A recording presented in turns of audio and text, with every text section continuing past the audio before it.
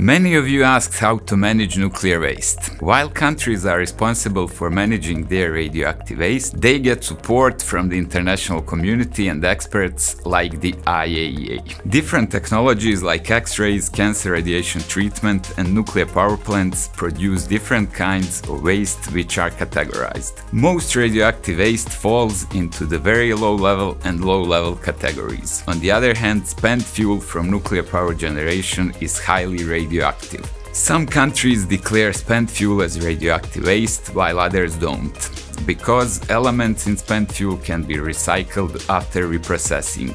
Keep in mind though, that reprocessing also generates high-level waste. Did you know that of the total waste produced during a nuclear power plant's lifetime, only 1% is high-level?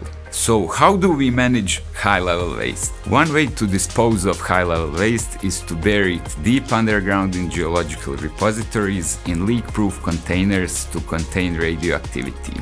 High-level waste is isolated in these repositories for hundreds of thousands of years to protect people and the environment.